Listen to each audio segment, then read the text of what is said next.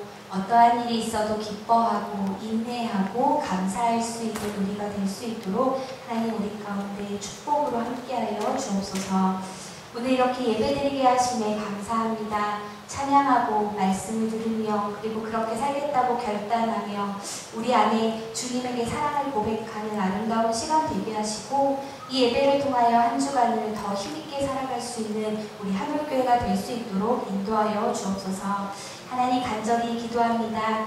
밤중에 태어난 아가들 그리고 뱃속에 있는 아기들 그리고 태어나서 돌을 맞이한 아기들 하나님 수많은 아기들을 축복하여 주시고 그 가정 가운데 함께하여 주셔서 하나님의 사랑으로 건강하게 그 아기들이 튼튼하게 자라날 수 있도록 하나님 마음껏 축복하여 주옵소서 지금 이 클래스에서 예배를 드리고 있는 우리 아동부를 축복하여 주시고 이 자리에 굳건하게 서 있는 중고등부와 그리고 청년들, 여성교회, 남성교회 모든 부서를 축복하여 주셔서 부서마다 하나님을 더 영광 돌릴 수 있도록 인도하여 주시고 믿음 위에 굳게 설 수 있도록 하나님 축복하여 주옵소서. 특별히 기도합니다. 우리 하늘교회가 더 사랑하는 교회가 되게 하여 주옵소서. 서로의 보이지 않는 마음을 들여다볼 수 있는 민감함도 허락하여 주시고 서로의 눈에 비친 슬픔도 있게 하여 주시고 서로의 눈에 비친 기쁨도 함께 나눌 수 있도록 인도하여 주옵소서. 힘들어하고 있는 이의 손을 잡아줄 수 있는 교회가 되게 하시고 내가 널 위해 기도한다고 진정성 있는 말로 날마다 함께 할 수 있는 교회가 되게 하여 주옵소서. 예수님은 그렇게 사랑하라고 그렇게 사랑을 실천하라고 십자가에 달려 돌아가셨는데 우리도 그 사랑을 더욱더 깊이 따라갈 수 있는 교회가 되게 하여 주옵소서. 우리는 서로 그렇게 사랑하고 또 이렇게 받은 사랑을 교회에 다니지 않는 많은 이들과 나누기도 소원합니다. 우리가 일하는 처소에서 우리가 있는 곳들에서 하나님의 거룩한 곳으로 변화시키고 그 기쁨을 나누고 사랑을 실천하는 아름다운 교회가 될 수 있도록 인도하여 주옵소서. 우리의 일주일을 또 하나님께 부탁합니다. 하나님 함께하여 주셔서 더 기도하며 더 말씀 읽으며 더 많이 찬양하며 살아가는 우리가 되게 하여 주옵소서 그렇게 살아가게 될 우리를 기대하며 예수님의 이름으로 기도드립니다. 아멘.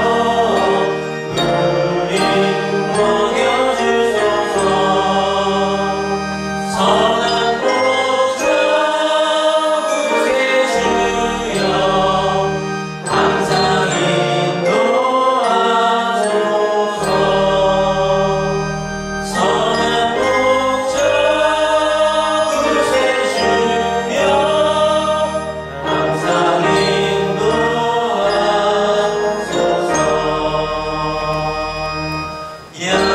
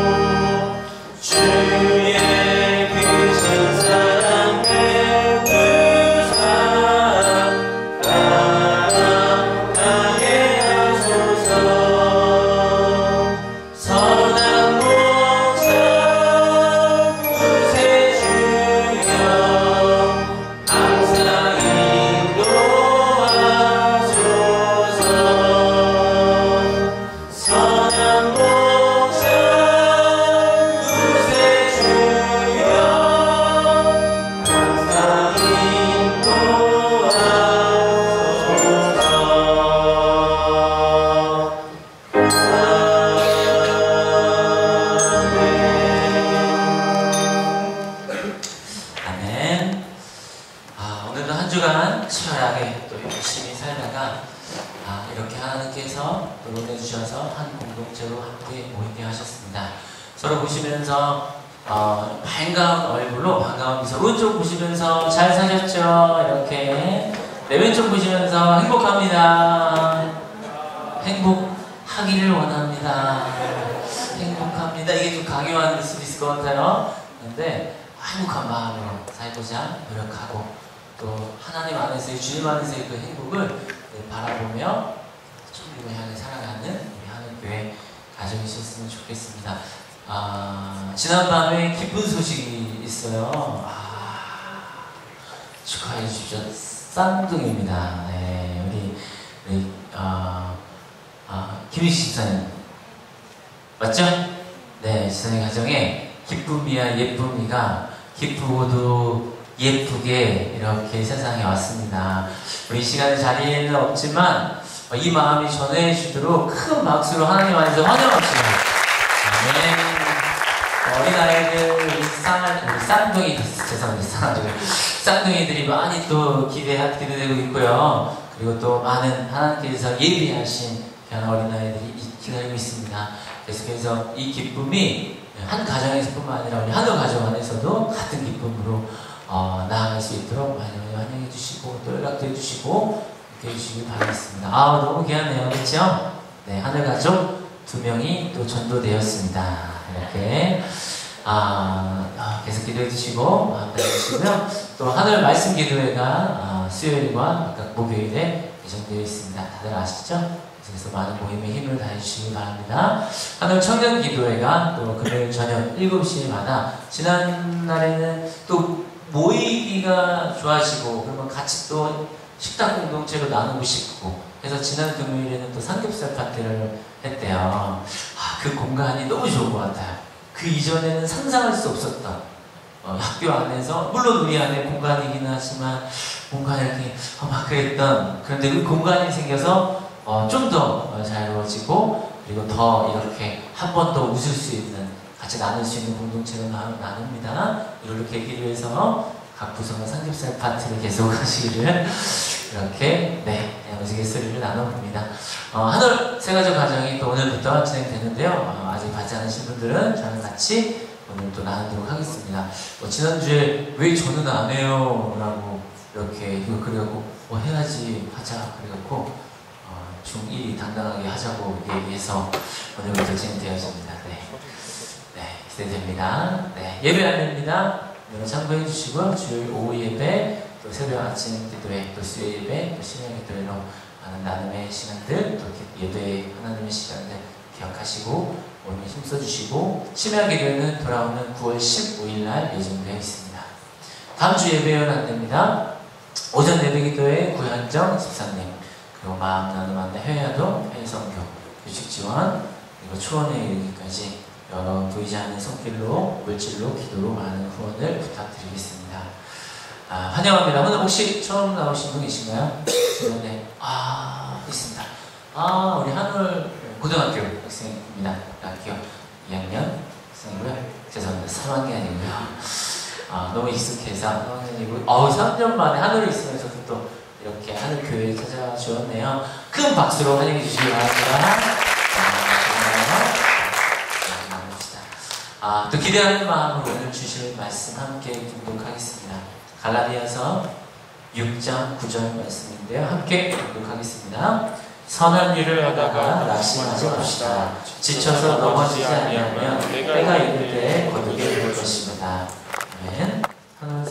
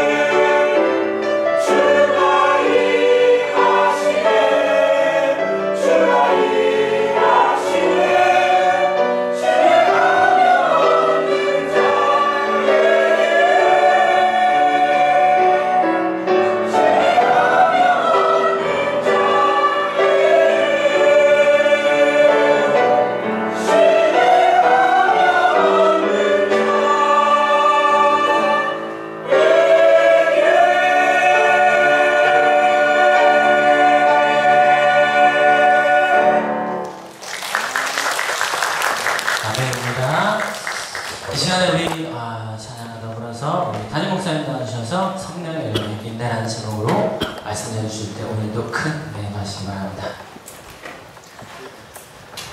네, 여러분 때문에 행복합니다. 네. 성령 열매 계속 나누고 있는데요. 그 열매라는 그 뜻 자체가 뭐 우리가 흔히 아는 이제 과일 같은 걸 이야기하기도 하지만 이런 의미겠죠. 같이 한번 읽어볼게요. 준비 시작. 어떠한 일에 힘써서 거둔 결과를 비유하여 일컫는 말. 그래서 실은 열매 맺는 삶이라고 생각을 해보면 이거를 싫어할 사람은 없죠, 그죠? 누구나 다 아, 정말 열매를 맺고 싶어. 그래서 아까 그 이야기하는 것처럼 야 좀 힘써보자, 힘써보자, 조금만 더 노력해보자. 그래서 포기하지 말고 그 길을 가보자. 그러니까 참 좋은 말이고 또 우리가 아 그래 그렇게 살아야지라고 생각하는 말인데 말하는 사람에겐 그런데 듣는 사람들은 좀 어떠세요? 이런 말 들으면 조금만 더 힘써보자, 조금만 더 노력해보자, 포기하지 마라는 얘기 들을 때 어떤 생각이 좀 드세요? 하... 이게 하는 사람이랑 듣는 사람의 느낌이 정말 다른 말이거든요. 왜냐면 이런 열매라는 것들이 생각해 보면 학생들 중에 공부하기, 그러니까 제가 항상 자주 하는 말이지만 얘들아 공부가 싫지 그러면 네 그래요. 근데 공부 잘하는 게 싫으니까 다 아니오 그러잖아요. 그러니까 공부의 열매를 안 맺고 싶은 사람이 어디 있겠어요? 내가 원하는 대학, 내가 원하는 취업 안 하고 싶은 사람이 어디 있겠어요? 그죠? 그리고 행복한 가정을 이루고 싶지 않은 사람이 어디 있겠어요? 그러니까 누구나 다 바라는 너무너무 당연한 것들인데 그 열매를 맺자 그러는 건 좀 불편해요. 그러니까 혹시 이럴 수 있어요. 이런 말씀을 들을 때 아, 그래, 맞아, 맞아. 그래, 나 그렇게 열매 맺기 힘쓰고 있어. 그렇게 막 그런 마음이 드시는 분들도 계시고요. 또 어떤 분들은, 하, 그래, 내가 열매를 맺지 않는 건 힘쓰지 않았기 때문이야. 라고 갈 수도 있는 것 같아요. 근데 그 열매, 특별히 그 중에서도 우리 성령의 열매를 조금 의미를 좀 줄여볼까요? 많은 열매들이 있지만, 그러면 성령의 열매, 우리가 지금 나누고 있는 그런 열매를 맺으려면 어떤 일들을 노력해야 되나요? 우리 표대로 가면 돼요. 같이 읽어볼까요? 준비 시작.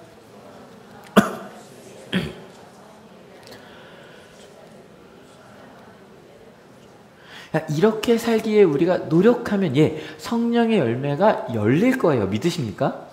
그럼 어떠한 성령의 열매인가? 하나씩 저희가 했던 거 좀 점검해 갑시다. 많은 한 세 가지 네 가지가 있었는데 첫 번째 것만 기억하셔도 좋을 것 같아요. 어떤 사랑? 같이 보시죠. 서로 어떤 기쁨? 어떤 화평? 어떤 화평? 넘어서는 화평. 그러니까 그래서 이걸 넘어서서 그래야 실은 화평할 수 있잖아요. 평화라는 거뭐 전쟁이 없는 정도가 아니라 그랬죠. 지금 뭐 지난주 저희 예배 끝나자마자 핵실험 있었더라고요. 12시 반에.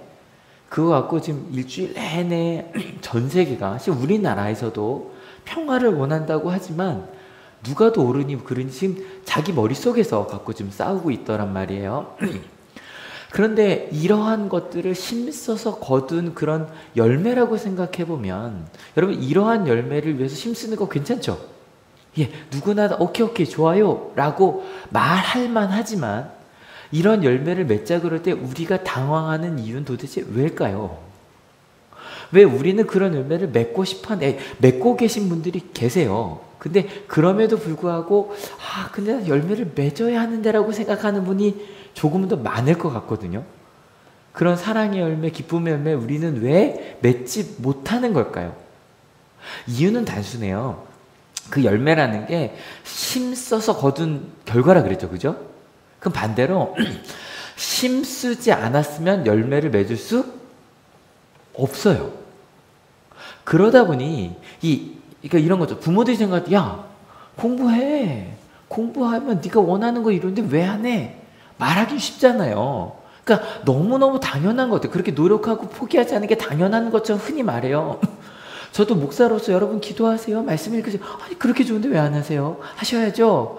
라고 말하는데 왜 우리가 선택하지 못할까? 그 이유가요. 그 질문이 이런 거잖아요. 여쭤볼게요. 어, 치킨은 항상 옳죠. 치킨 먹을래요? 안 먹을래요? 그러니까 이럴 때, 아니, 당연히 먹지 왜 안 먹어? 아, 가끔 못 먹을 이유가 있죠. 없군요. 아, 먹고 나서 후회할 일은 있어도 안 먹을 이유는 없죠. 그죠? 그러니까 생각해 보면 공부 왜 안 해가 치킨 왜 안 먹어랑 똑같이 이거 말하는 사람은 생각할 수 있어요. 당연히 치킨 먹는 것처럼 공부해 그런 것처럼 기도해 말씀대로 살아 그 열매 맺는 삶인데 왜 안 살아? 라고 할 수도 있는데 그 이 질문과 전혀 다른 이유가 이유가 이런 거예요. 제가 이렇게 한번 표현을 해봤는데 익숙함 대 새로움 뭐냐면 치킨을 먹는데 익숙하시죠? 그죠? 치킨 항상 오라 그래서 근데 그, 그 맛이 다시 내 입에 들어올 수만 있다면 그 무언가를 하더라도 그죠? 항상 왜요? 다이어트 내일부터 하는 거니까 먹는단 말이에요. 그런데 이, 이 열매를 맺기 위해 살자라고 할 때는 그러니까 우린 당연하게 야 공부해 뭐 기도해 말씀 읽어 너무너무 쉬운 것처럼 말하지만 그런 삶을 살아본 적이 없어요. 그래서 지금까지 내가 하던 대로 하는 거 익숙하게 그냥 가면 되는 관성처럼 그냥 가면 되는 거고 공부하거나 노력하거나 추구하거나 궁금해서 어떤 진리를 찾아나가는 그런 과정은 처음 해본 일이라는 거예요. 이걸 제가 좀 이해하기 쉽게 설명해 드릴게요. 졸업생들이 많이 와요. 특별히 이제 그 2학기 시작하기 전에 많이 오고 막 그래요. 졸업생들한테 물어요. 야, 너 뭐가 후회되니? 그럼 100% 뭐라 그럴까요? 공부하지 않은 게 후회된다 그래요.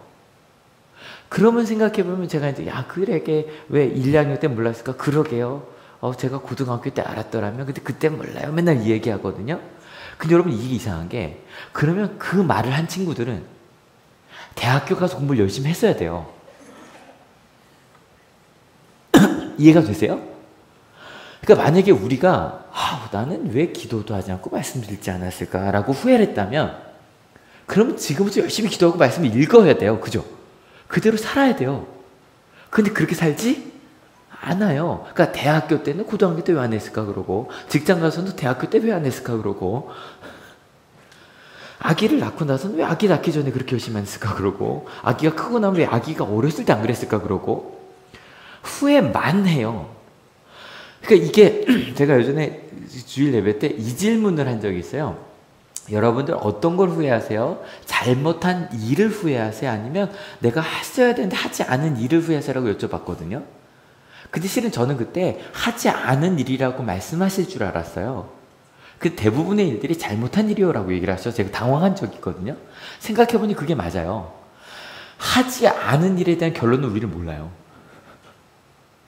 그러니 내가 잘못 말하고 잘못했던 것들에 대한 결과를 알거든요.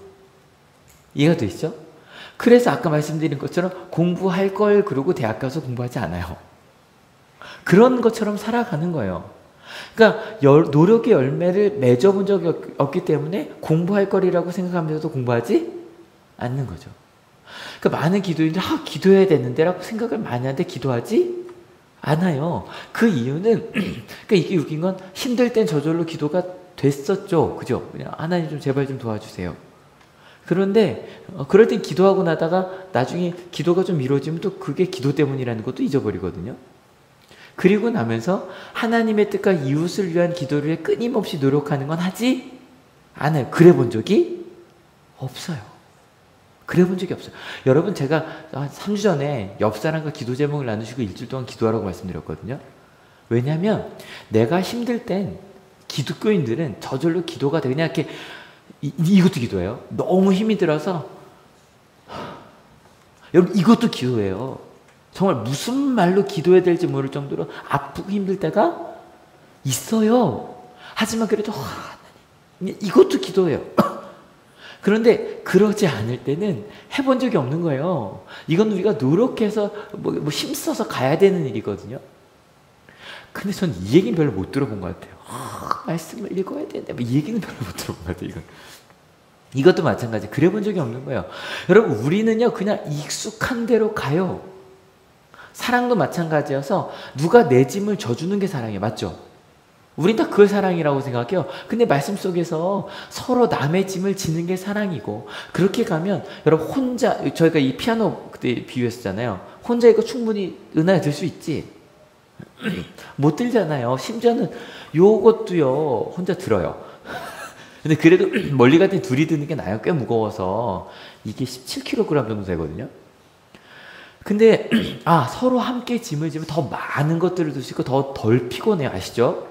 이런 사랑이 가능하다는 걸 믿는 거 여러분 기쁨도 우리는 내 짐이 가벼워지는 게 기뻐요 와 일 끝나서 신나고 막 이러잖아요 근데 그런 거 말고 내 몫의 짐을 정말 내가 감당해서 뿌듯함 아세요? 와 이걸 내가 해내고 말았어 야 내가 이런 것도 할 수 있었네 그런 뿌듯함 그 행복 여러분 이게 더 큰 기쁨이라는 걸 평화도 그냥 내 생각과 같은 사람들끼리 안 싸우는 걸 우리 평화롭다고 그러잖아요. 그게 아니라 내 생각을 넘어서서 내 생각과 다른 사람들과도 화평할 수 있는 그런 새로운 것을 향해 도전해 보는 거. 여러분 그게 바로 하나님께서 우리에게 원하시는 성령의 열매야 믿으십니까? 그이 말하면 돼. 제가 꼭 여러분 비난하는 것처럼 들리실 수도 있어요. 이런 생각 하시죠. 목사님 안 해본 게 아니에요. 해봤었어요. 근데 목사님 쉽지 않아요.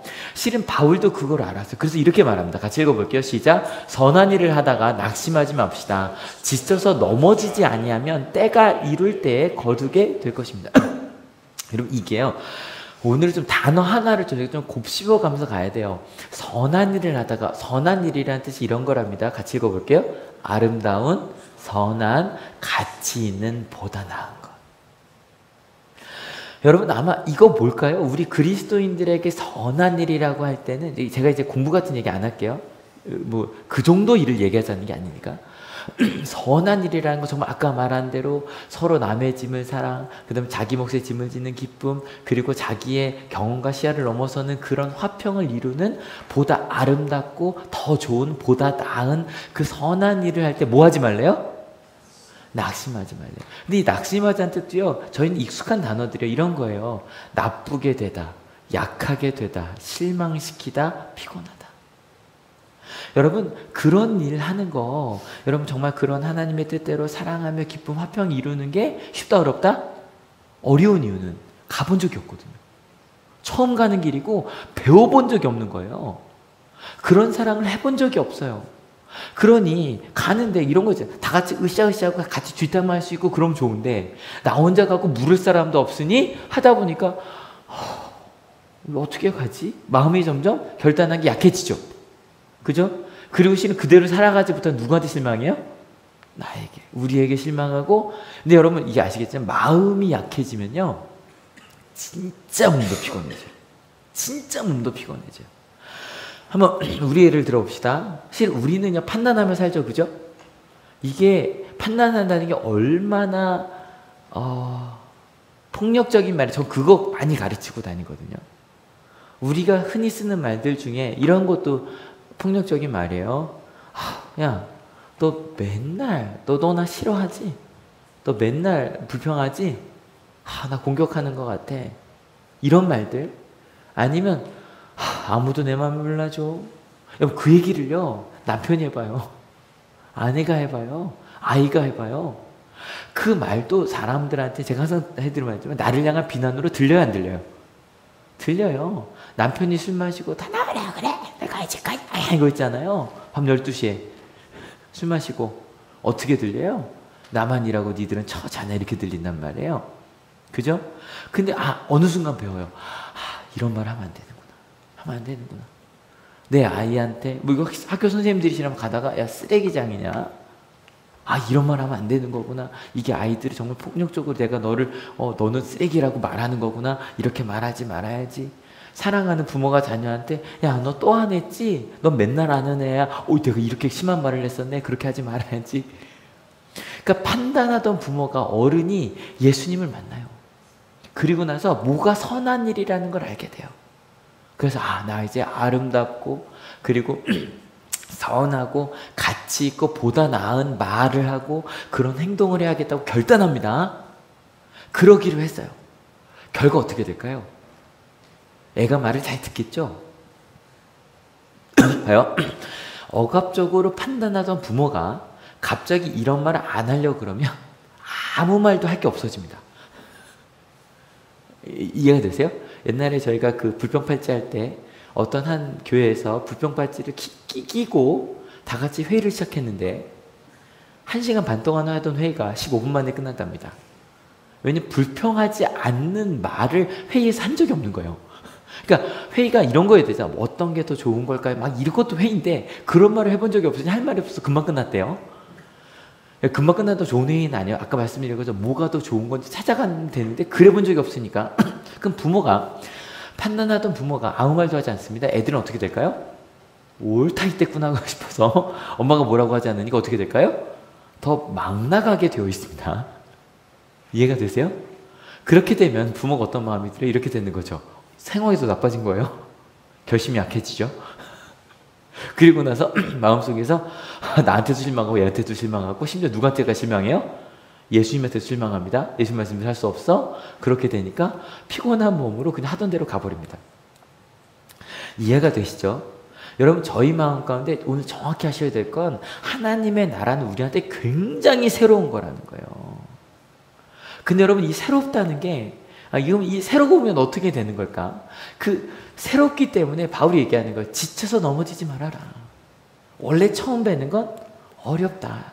그래서 뭐 해야 되냐면 때가 이룰 때 거두게 될 거니까 그 길을 한번 믿음으로 한번 가봐라. 근데 여러분 이 때가 이룰 때 선한 일이 이루어진다. 정말 아름답고 이렇게 반복해 보여드릴까요? 아름답고 선하고 가치 있고 보다 나은 일이 근데 진짜 이루어질까? 그 열매란 말 많이 들었잖아요.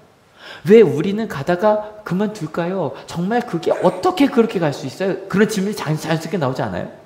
어떻게 지치지 않을 수 있지? 어떻게 낙심하지 않을 수 있지? 좀 궁금하시죠? 2000년 전에도 그랬던 거예요. 바울이 이어서 이렇게 말합니다. 같이 읽어볼게요. 그러므로 기회가 있는 동안에 모든 사람에게 선한 일을 합시다. 특히 믿음의 식구들에게는 더욱 그렇게 합시다.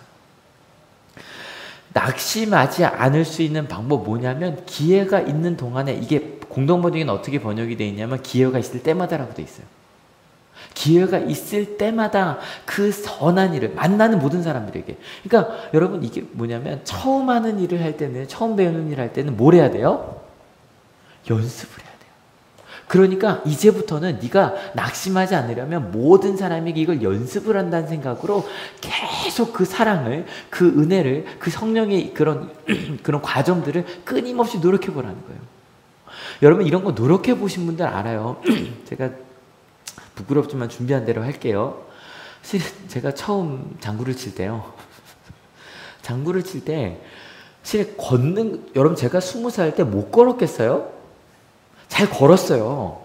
뛸 줄도 알았고, 나름대로 뭐, 제가 고등학교 때 교회에서 워십팀도 했었어요. 그 제가 이런 거라고 말씀드렸지만, 그래서 장구를 배우는데, 한국 탈춤을 배우는데, 걸음부터 다 다시 배워야 되는 거예요. 뭐 길게 설명 이해 잘 못하실 것 같아서 간단하게 우리나라 박은요 하나 그러니까 하나 아 눌러요. 그래서 걸으면 이렇게 걸어요. 하나 아둘셋 이렇게 연습을 해야 되거든요. 이게 뭔지 잘 모르시겠죠? 그리고 뛸 때도 투 스텝 있잖아요. 하나 둘 셋 이런 거 많이 하잖아요. 근데 비슷한 게 있는데 한국 춤은 정반대로 가요.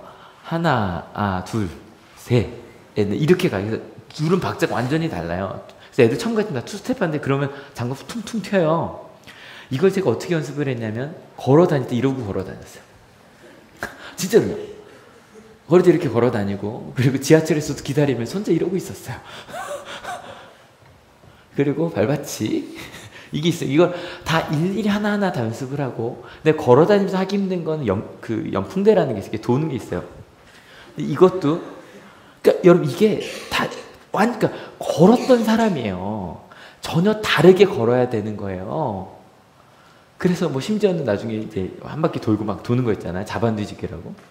그건 하지 않을게요. 위험해서. 근데 그걸 다 다시 배웠어요. 연습 처음 배우는 거야. 내가 걸었던 거지만 새롭게 걸어야 되고 박자를 다시 맞춰야 되니까 그렇게 끊임없이 연습을 하는 거예요. 모든 자리에서. 근데 성령의 열매도 그런 거라는 거예요. 그래서 그렇게 처음 뵈는 일을 막 연습해서 모든 사람에게 선한 일 했던 오늘 두 분 얘기를 좀 하려고 해요. 그 중에 왼쪽을 먼저 볼까요? 왼쪽을 먼저 볼, 오른쪽을 먼저 볼까요? 빨리 왼쪽이라고 해주세요. 왼쪽 고마워요. 왼쪽에 왼쪽을 먼저 어떻게 하셨어요? 일단 왼쪽 분부터 먼저 보면 이분은 아주 예쁜 아기를 하나 안고 계시죠. 선한 일을 하다가 낙심한 적이 있는 니콜라스 윈턴이라는 분이요. 영국에 살았고요. 봐도 좀 오래된 분이죠. 유대인이었고 2차 세계 대전 때 실 영국의 한 그러니까 실 주식 중개 그러니까 은행원이었어요. 은행원 돈이 좀 있었던 분이에요. 근데 1939년에 무슨 일이 있었죠? 2차 세계대전 시작하는데 이제 그 전에 돈도 좀 있고 하니까 영국에 살다가 야 이게 뭐 돈이 있는 사람이에요. 스키 타려고요. 스위스를 가려고 준비를 하고 있었어요. 이게 우린 스키 타려고 뭐 곤지암을 가냐 뭐 이러고 있는데 야 스위스로 가서 스키 타러 있다 그 정도 돈이 있는 분이야. 근데 스위스에 가려고 스키 타러 하고 있는데 갑자기 치, 체코에 있는 친구가 야 잠깐 나 좀 도와줘. 그래서 스위스로 가려고 하다 친한 친구니까 오케이 그리고 체코로 갔어요. 근데 체코로 갔는데 거기 누구 그 친구가 누굴 어디로 데려갔냐면 체코의 어떤 난민 캠프로 이 윈턴 씨를 데려갔어요. 근데 그 난민 캠프가 어떤 난민 캠프였냐면 유대인들의 난민 캠프였어요. 체코의 꽤 많은 부분이 2차 세계대전 시작하기 전에 벌써 독일에게 편입이 돼 있었거든요. 그래서 이게 여러분 유대인 탄압이 2차 세계대전 이전부터 있던 일이에요. 그래서 그것 때문에 도망 나온 사람들의 그 난민들을 보고 특별히 그 중에서 부모 없이 도망 나온 아이들 걔네들을 보고 너무 마음이 아파서 돈도 좀 있잖아요. 그래서 그 체코에 있는 그 유대인 난민 아이들을 영국으로 입양할 계획을 세웁니다. 입양할 계획을 세워서 일단 하려니까 두 가지가 필요해요. 일단 영국에 들어갈 비자가 필요하고 그다음에 입양할 부모가 있어야 이게 보낼 수가 있거든요. 이거를 발로 다 뜁니다. 그래서 몇 명의 입양할 부모를 찾아내냐면 어, 1939년 3월부터 8월까지 669명의 아이를 입양할 수 있는 부모를 다 직접 발로 뛰어서 찾아내서 입양 동의서를 다 받아냅니다. 그리고 나서, 그러니까 이게 왜냐면 은행원이기 때문에 서류 작업엔 도 같은 분이거든요. 그래서 그거를 다 정부까지 가서 669명의, 669명의 비자까지 다 발급을 받습니다. 그래서 8번에 걸쳐서 이, 이 아이들을, 고아들을 다, 고아들을 다 영국에 입양을 시킵니다. 멋있죠? 그리고 나서 마지막으로 사실 마지막이 될지 몰랐죠. 1939년 9월 3일 날 아홉 번째 기차가 출발하기로 돼 있었어요. 250명의 아이들을 또 태우고 이게 이게 아홉 번째인지 되게 많잖아요. 왜냐하면 점점 하면서 늘어난 거예요. 그래서 250명을 태우기로 하고 모든 비자와 모든 준비를 다 했는데 9월 1일 날 혹시 무슨 일이 있었는지 아세요? 2차 세계대전이 시작이 됩니다. 그래서 이 250명의 아이들은요, 다 행방불명됩니다. 한 명도 빠짐없이. 나중에 한 명도 못 찾았습니다. 실은요, 이 아홉 번째 실패 이후에 이분이 자책감 때문에 이런 거 아시죠? 이틀만 더 먼저. 이틀만 더. 내가 조금만 더 했다면. 내가 돈이 있는데 조금만 더 했다면. 혹시 그 쉰들러 리스트 보였어요? 저 마지막에 그 장면 있어요. 아, 이 사람이 이 반지면 몇 명이었는데 막 이런 막 우는 장면 나오는데 그 마음 때문에 낙심을 해요. 아이를 돕다가. 그리고 나서 실은 역사에 사라집니다. 이분이. 어디서 살았는지도 기록이 남아있지 않습니다. 한동안. 반대로 이번에는 제 오른쪽 분을 얘기하려고 합니다. 둘 다 너무너무 훌륭한 분이에요. 이분은 간호사였던 이레나 샌들러, 그 쉰들러 리스트랑 상관없는 분이에요.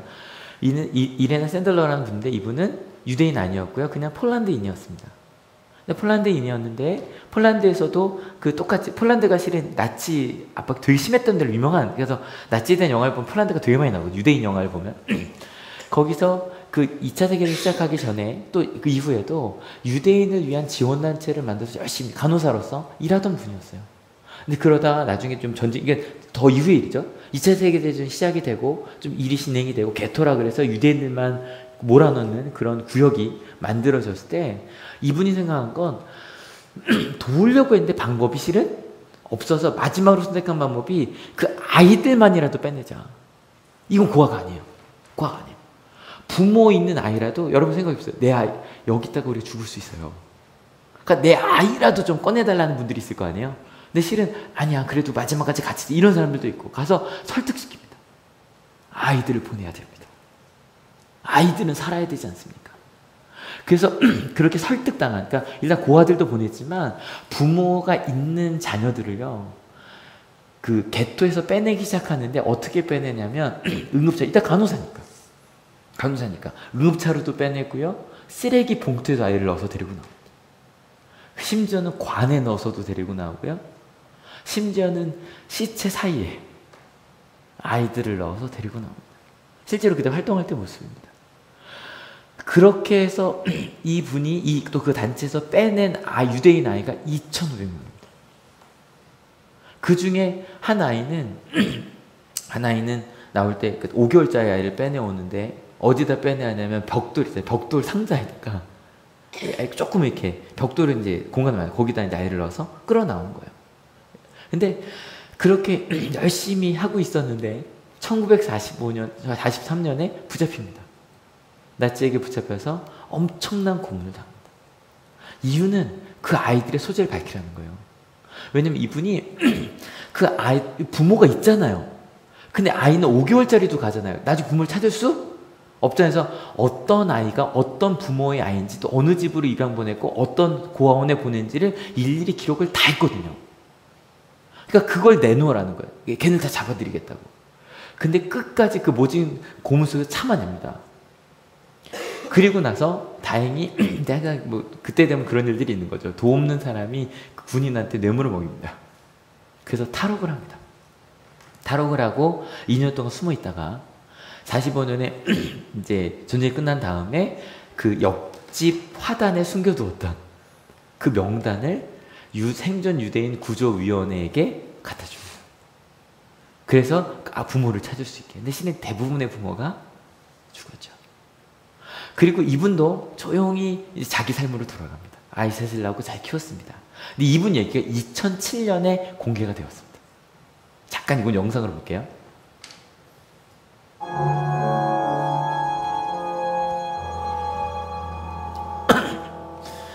노벨 평화상에 추천을 받았어요.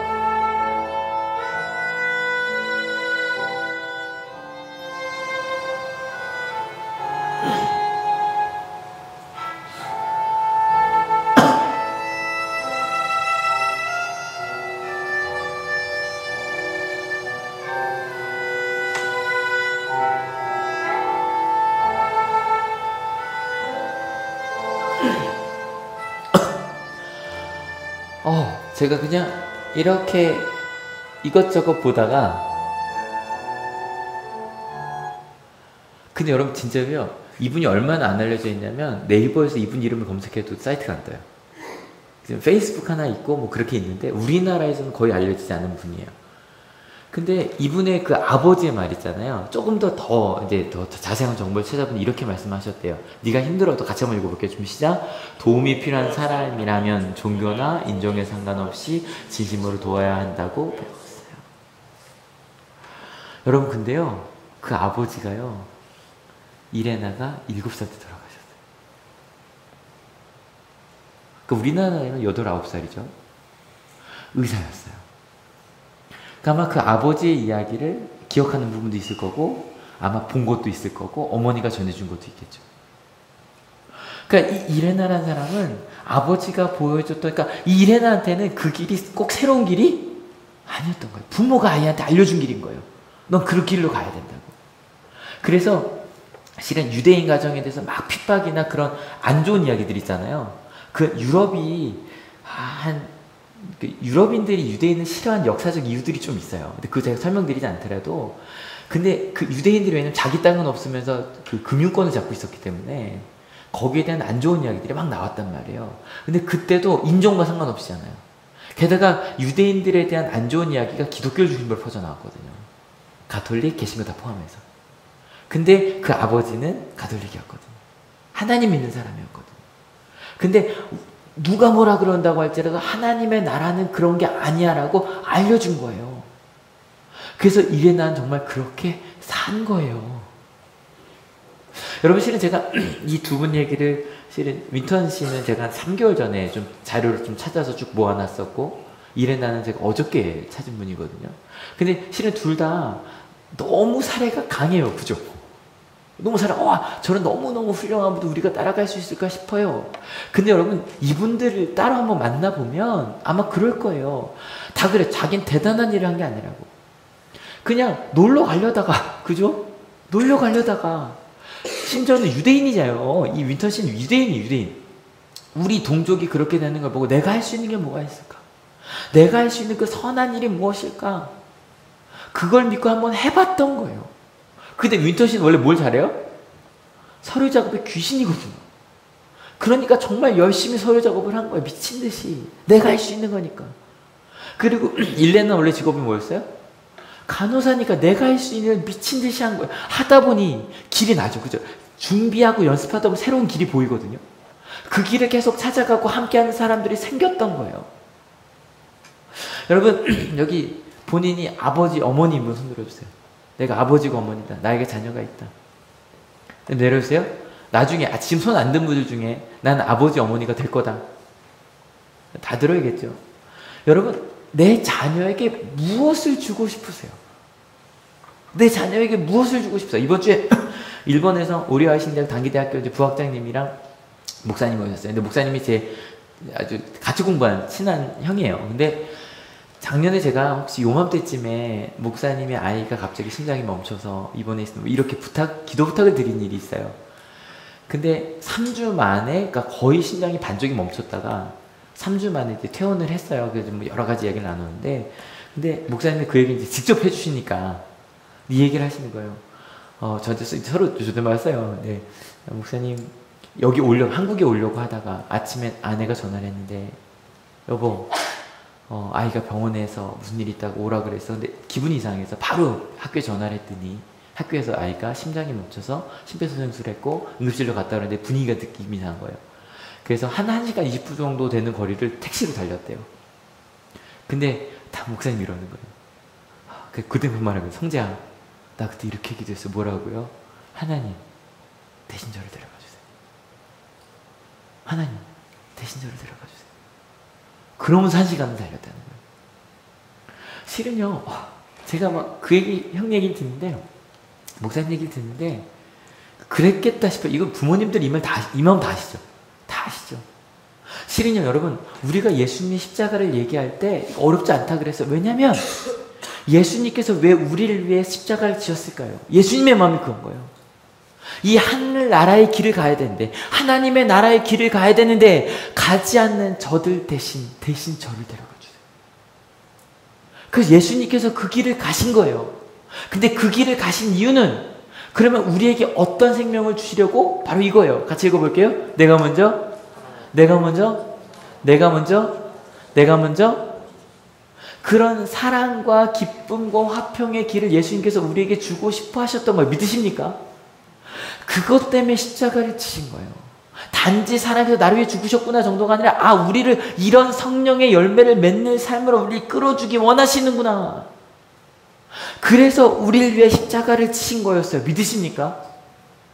그래서 우리는 그 열매를 맺어야 해요. 우리가 맺어야 믿지 않는 이들에게 알려줄 수 있거든요. 이런 게 하나님의 길이라고. 여러분 오늘 성령의 열매 이렇게 제목으로 가는 거 지금 다섯 번째 시간인데 실은 오늘은 그 중에 어떤 맺는, 나누고 있는가? 실은 이 세 가지를 한꺼번에 하고 있는 거예요. 인내, 친절, 선함. 근데 여러분 여기 인내라는 이 단어가요. 인내라는 이 단어가 이 노래 아시죠? 사랑은 언제나 오래 참고 그 오래 참는다는 말이랑 똑같은 단어예요. 그 다음에 사랑은 언제나 온유하며 그게 친절이라는 단어. 선함이란 단어 오늘 우리가 나누는 그 선한 모든 일이랑 그 단어랑 똑같아요. 여러분 오래 참음이란 단어 절대로요. 아, 저거 내가 참아야지. 이 참음이 아니에요. 성경에서 바울이 말하고자 하는 그 사랑의 오래 참음 같이 한번 읽어볼게요. 준비 시작. 선한 일을 꾸준히 하는 거. 낙심하지 않고 꾸준히 가는 게 그게 오래 참음. 부모가 자녀한테 아, 내가 저거 참아야지, 참아야지. 그래 사랑은 오래 참는 거야. 저도 그런 줄 알았거든요. 그게 아니라 어떤 상황이어도 하나님이 원하신 사랑과 기쁨과 화평의 길을 선한 일을 낙심하지 않고 끊임없이 가는 거 왜? 이유는 간단해요. 몰랐거든요. 그런 길이 있다는 걸 몰랐거든요. 여러분 오해하지 마세요. 여기서 새로운 길이 있다고 이야기할 때 절대 교회 처음 나오신 분들 여러분 교회 나오시니까 예전에 생각하신 것과 다르죠. 하나님의 길이 있습니다. 그 말을 하자는 게 아니에요. 그런 분들도 있겠지만 실은 모태신앙인 같은 저 같은 사람들에게도 여러분 여기 모태신앙인 분들 갈라디아서 이렇게 나누면서 성령의 열매가 좀 새롭게 와닿지 않으세요? 여러분 혹시 좀 이런 거 어색하지 않으세요? 우리까지 또 이렇게 생각한 적이 없는데 이렇게 생각한 적이 없는데 이번 주에 홍정일 목사님이라고 CCC의 거의 전설 같은 분이죠. 근데 홍정일 목사님께서 그 이런 인터뷰를 하셨어요. 어떤 인터뷰를 하셨냐면 처음에 한국에 복음이 와서 열심히 이제 그 복음 1세대시거든요. 막그 평양 대부운동 말고 60, 70, 80년대 뭐 이동호 목사님 이제 같이 열심히 하시던 분인데 그런데 우리가 누구를 따라갔냐면 미국에 있는 큰 교회 메가 처치들 찾아다녔다. 아 교회가 그럼 이렇게 해야 되는구나. 근데 그 교회들이 지금 다 망했다. 우리가 잘못된 길을 따라가고 있었던 거다. 교회가 미국에 있는 큰 교회를 따라갈 게 아니었는데 다른 걸 찾아갔어야 되는데 또 우리가 잘못된 길로 가고 있었다. 여러분 하나님께서 우리에게 만나는 모든 사람들에게 선을 행하고자 하는 여러분 왜 만나는 모든 사람들은 달라졌잖아요, 그죠? 그리고 우리 우리가 만나는 사람들에게 어떻게 선한 일을 해야 되는지 끊임없이 궁금해하며 노력하며 연습하는 찾아가는 여러분 그 새로움의 길에 하나님께서 우리를 초대하셨습니다. 믿으십니까? 그 길을 가자는 거예요, 그 길을. 근데 여러분 이 말씀 들으시면서 이 시리즈 들으시면 그런 생각 하실 수 있어요. 우리가 지금까지 생각했던 성령의 열매를 맺는 방법이랑 좀 다르죠. 옛날에 저도 그 생각 기도 많이 하고 막 이거 많이 생각했거든요. 그런데 여기서 말하는 성령의 열매는 다 교회에서 열리는 거예요? 삶에서 열리는 거예요? 삶에서. 그런데 유일하게 교회에 대한 언급이 여기 딱 하나 나왔었어요. 같이 읽어볼게요. 좀 시작. 특히 믿음의 식구들에게는 더욱 그렇게 합시다. 이게 교회에서만이 아니라 그렇게 사는데 특히 믿음의 가족들 우리랑 누구예요? 우리 한올교회 가족들이랑은 조금 더 열심히 그렇게 하자는 거예요. 그런 열매를 같이 맺기 위해서. 여러분 왜일까요? 여러분 이런 성령의 열매들을 삶의 열매로 맺어갈 때 실은 우리에게 정말 필요한 게 있는데 뭐냐면 바로 그 믿음의 식구들이에요. 여러분 함께 기도할 사람 필요하지 않으세요? 나 혼자 기도할 때 힘들 때 하나님의 뜻은 이런 거야라고 같이 얘기해 줄 사람? 그리고 가족과 함께 말씀 나누면서 난 이런 게 은혜 받아서 나누는 가족들. 그리고 그 기쁨을 아는 사람들이 모여서 이렇게 함께 예배하는 그 기쁨. 그리고 함께 격려받는 그런 기쁨. 야 우리 그렇게 나 살아가는데 얼마나 좋지 않냐. 제가 청년들 좋다는 거 그 말씀드리잖아요. 우리 뭐 말씀 기도도 마찬가지지만 처음 대학 가서 저 대학 졸업하고 취업을 하면서 야 이렇게 살아야 되지 않을까라고 고민하는 그런 모임들 여성교회 남성교회 청자년 필요하지 않아요? 실은 어제 우리 아연이 돌잔치 있었거든요. 근데 아, 너무 이쁘게 웃죠. 너무 이쁘게 웃죠. 근데 실은 돌잔치에 가서 짧게 예배를 드리고 같이 있으면서 실은 그 생각을 했어요. 예배는 정말 짧게 드렸거든요. 한 10분 드리고 그 다음에 돌 이제 이벤트죠. 30분 하는 거 처음 봤거든요. 진짜 길게 하더라고요. 이게 엔제스타가 뭐, 어, 저, 저, 선전하는 거 아니에요? 거기가 이제 돌잔치 전문이라 그런지 이벤트가 뭐 준비가 나름 돼 있더라고요. 근데 보는데 아까도 김희석 집사님이 그러시더라고요. 돌잔치 물어보니까 아 두 번 할 건 아니더라고요. 그럼요 돌잔치는 한 번밖에 안 해요. 근데 사실 그 집사님의 마음은 제가 알겠어요. 왜냐면 세상의 돌잔치는 어때요?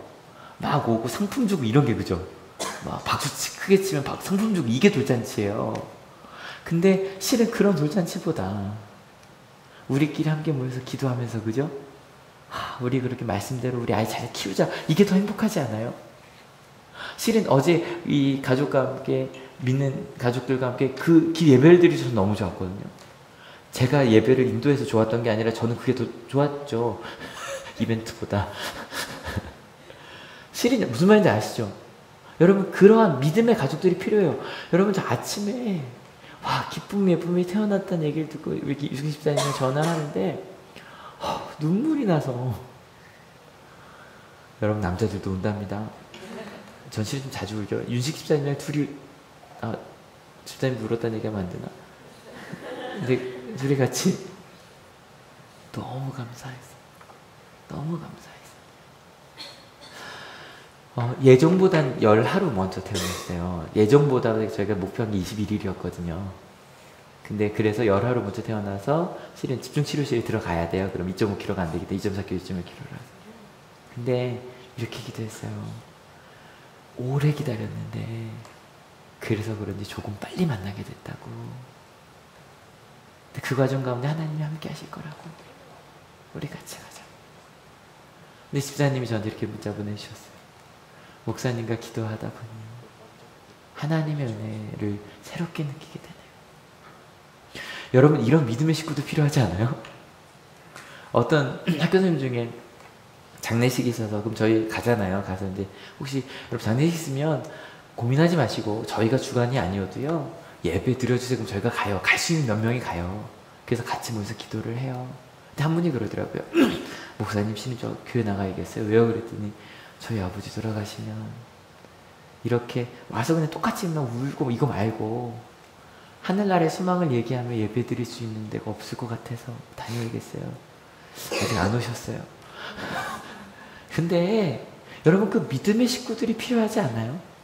그래서 함께 그 마음을 나누는 청소년 박사인데 제가 가끔 끝나고 막 가면 부모 공부하지 않을래? 라고 제가 툭툭 던져요. 왜냐면 아직 부족하지만 그런 믿음의 가족들이 필요해요. 우리 청년부, 청장년 중에 실은 아직 모임 가지 않는 이들이 있어요. 예, 알아요. 근데 그런 모임이 필요해요, 안 필요해요? 필요해요. 우리 남성교회 수요일에 저녁에 오세요. 오세요, 오세요, 오세요. 여러분, 뭐 내가 가면 쑥스럽지 않을까? 몇 명 안 모여요. 금방 친해질 수 있어요. 여성교회는 특별히 예배 끝나고 바로 가도 그죠? 그 모임에서도 충분히 나눌 수 있고 혹시 오저, 목요일에 시간 되신다면 더 깊은 얘기는 그죠? 아무래도 거기가 더 깊죠. 목요일날 모이는 게. 근데 여성교회 두 번의 기회가 있으니 주일 끝나고 모이세요. 그리고 우리 모여서 이것 좀 고민합시다. 선한 일. 우리 자녀들에게 목숨 줄 수 있는 내 자녀에게 우리 후손들에게 줄 수 있는 거 줘야 되는 거 아름답고 선하고 가치 있고 보다 나은 그 하나님의 길을 우리 같이 가는 우리 하늘교회 됩시다. 여러분 낙심하지 맙시다. 처음 가는 길이니까 낙심할 수 있어요. 그럼 우리 낙심했던 윈터 씨는 어떻게 됐을까요?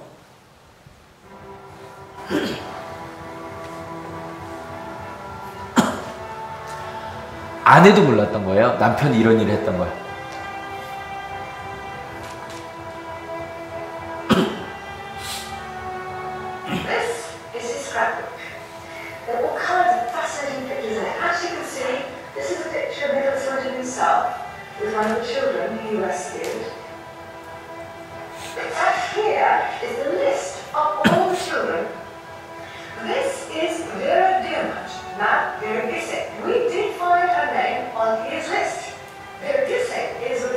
Tonight.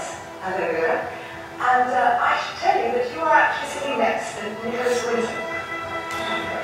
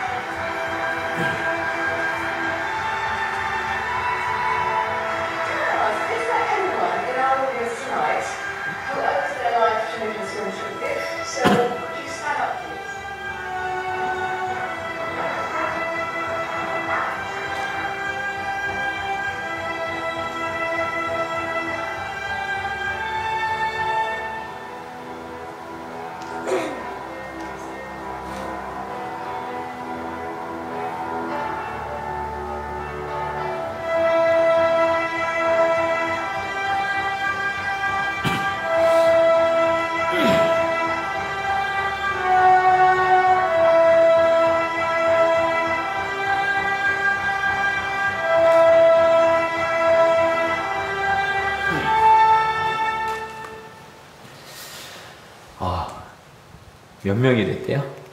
6천 명이 됐대요. 어, 여러분, 예, 낙심하지 않고 끝까지 전했던 우리 이레나 씨나 아니면 중간에 낙심했지만 이 장면이 뭐냐면 나중에 마지막 열차가 출발하지 못했잖아요. 그래서 그 열차를 재현하는 행사를 한번 가졌어요. 그래서 아까 그 방송국에 나오지 않았던 22명을 더 찾았어요. 그 22명을 다시 만나는 행사를 가졌어요. 그리고 두 분 다 참 오래 사셨어요. 하나님께서 이걸 보여주려고 좀 기다리게 하셨던 것 같아요. 이거 좀 보여주려고. 근데 이분이 자기를 막 이렇게 하면 너무 부끄러워. 아까 그 표정도 좀 보셨죠? 실은 이 6천 명은요, 누가 날 구해줬는지도 몰랐거든요.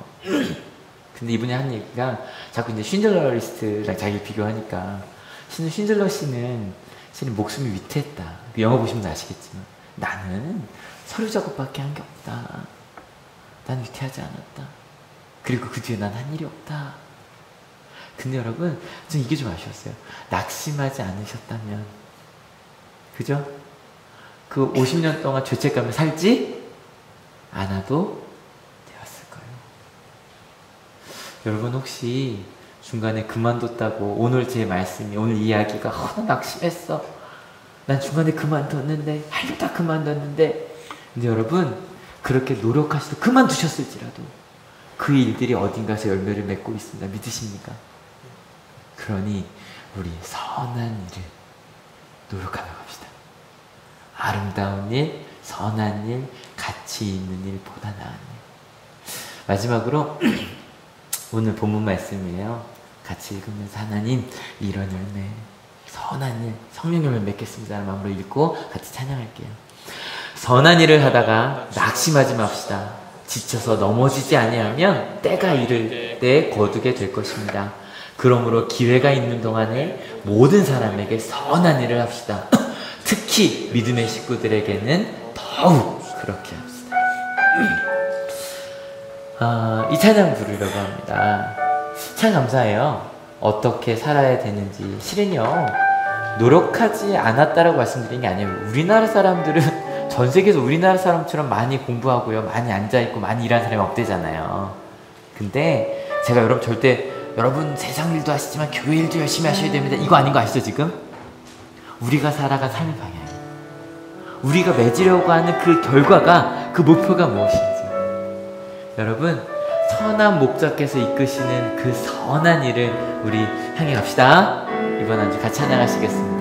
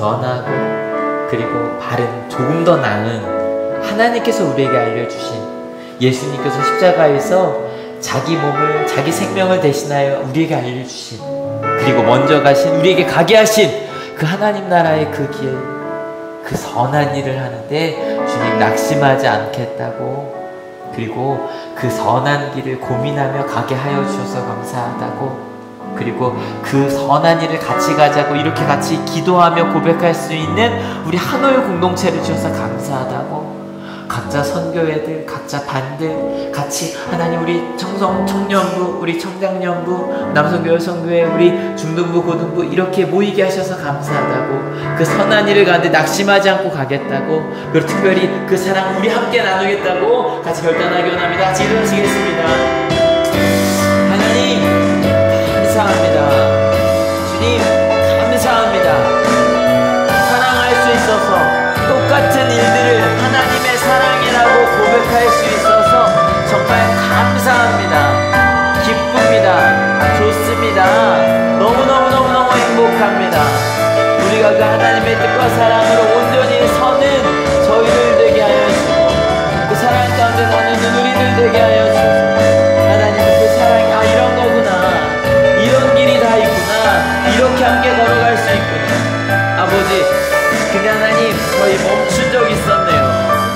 멈춘 적 있었네요. 낙심한 적 있었네요. 근데 하나님 우리가 선한 일을 하려고 했던 그 모든 사랑들이 땅에 떨어지지 아니하고 썩어지지 아니하고 하나님 그 새로운 열매로 맺게 하심을 믿습니다. 하나님 이제 우리 멈추지 않고 그길 가려고 합니다. 사랑의 길 우린 가본 적이 없는 길인데 아직 많이 가보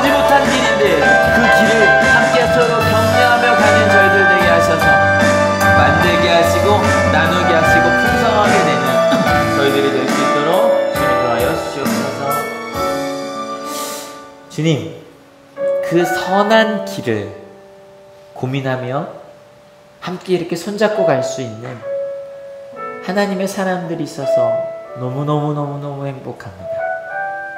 똑같은 사건이 있어도 다르게 해석할 수 있고 똑같은 아픔이 있어도 하나님께 같이 의지하며 나눌 수 있는 그렇게 선한 길, 선한 일. 하나님, 근데 저희 중에 때로 그만둔 적도 있었네요. 낙심한 적도 있었네요. 근데 하나님, 그 낙심했던 일들이 그만두었다고 마음속에 묻어두었던 일들이 하나님 지금도 열매를 맺고 있는 것을 알게 하시니 감사합니다. 하나님, 앞으로도 그 선한 일들을 성령의 열매들을 맺기 위하여 씨앗을 심고 매일매일 우리가 만나는 모든 사람들에게 그것을 연습하며 사는 저희가 되겠습니다. 연습이라서 실수할 수도 있겠네요. 우리가 부족하여서 연습했는데 의도치 않은 반응이 올 수도 있겠네요. 그런데 하나님 연습하겠습니다. 잘할 때까지. 내가 지금까지 살아오지 않는 길을 가야 되기 때문에 본 적도 없는 길을 가야 되기 때문에 함께 서로 의논하면서 함께 머리를 맞대고 고민하면서 기도하면서 같이 가겠습니다. 그래서 우리의 후손들에게는 교회는 이래야 돼. 사랑은 이렇게 하면 돼. 그리고 이런 열매들이 맺혀질 거야. 근데 기대해. 내가 맺은 열매, 열매보다 네가 맺을 열매가 아니 하나님께서 너에게 주신 열매가 더 클 거야. 너 나에게서 맛본 거 있지? 거기부터 넌 시작할 수 있을 거야. 그런 아름다운 열매들을 우리 후손들에게 또 우리가 알지 못하는 아직 하나님을 알지 못했던 앞으로 만나게 될 사람들에게 나누어주게 하실 것을 믿습니다. 이번 한 주 그래서 오래 참겠습니다. 낙심하지 않고 선한 일을 계속하겠습니다. 온유하게 친절하겠습니다. 그리고 그 선한 일에 최선을 다해 살겠습니다. 그렇게 선한 일을 선한 열매를 맺을 것을 믿는다고 그렇게 살겠다고 결단하는 하나님의 자들 머리 위에 예수 그리스도의 사랑과 하나님의 은혜와 성령 하나님의 인도하심이 지금으로부터 영원토록 함께 하옵시기를 간절히 축원하옵나이다. 아멘. 하나님께 감사의 박수 같이 드리기 원합니다. 아멘.